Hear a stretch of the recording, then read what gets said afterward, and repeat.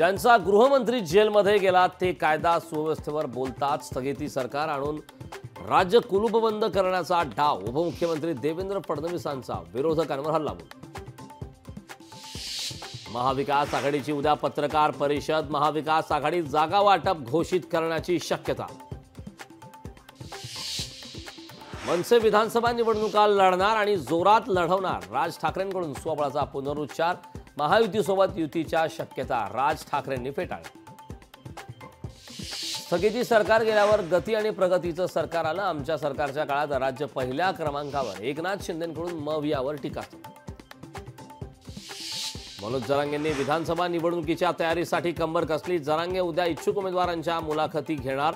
तर वीस ऑक्टोबरला मराठा समाजाच्या बैठकीचं आयोजन. हिंगोली विधानसभा उमेदवारीवरून भाजपमध्ये संघर्ष. तानाजी मुटकुळेंच्या जागेवर रामदास सुमठाणकरांचा रावा. रामदास पाटील सुमठाणकरांकडून मतदारसंघात तयारी सुरू. काँग्रेसकडून विधानसभेसाठी विभागनिहाय निरीक्षकांची नेमणूक देशातील बड्या नेत्यांची निरीक्षक म्हणून नियुक्ती. हरियाणा विधानसभेत फटका बसल्यानंतर काँग्रेसला जाग. बारामतीतून योगेंद्र पवार रिंगणात उतरणार असल्याची सूत्रांची माहिती पहिल्या यादीतच योगेंद्र पवारांचं नाव घोषित होण्याची शक्यता.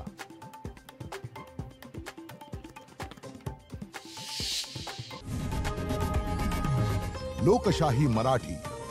ऐका पहा जागरूक रहा.